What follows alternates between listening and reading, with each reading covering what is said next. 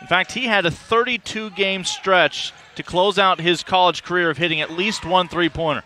Narcis with a 15 footer.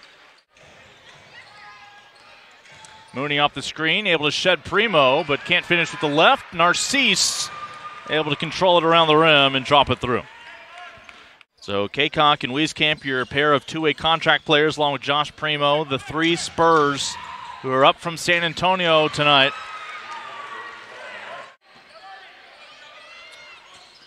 Jordan Howard, now 25 years old, dumps it down to Narcis. Will pick up the assist as the big man able to finish and atone for the turnover on the other end.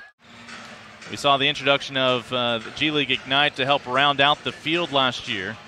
Spurs made it to the quarterfinals in Orlando. Narcis cannot be left open anywhere, apparently. Narcis tries to bully his way in. They'll let the contact go on both ends. Jordan Howard gets the instructions from his head coach, Ramon Diaz. Narcis, he's capable. That three point line has been owned by the men. Spurs back within nine, looking for another stop. Primo still matched up with Narcis, able to use his big frame to his advantage.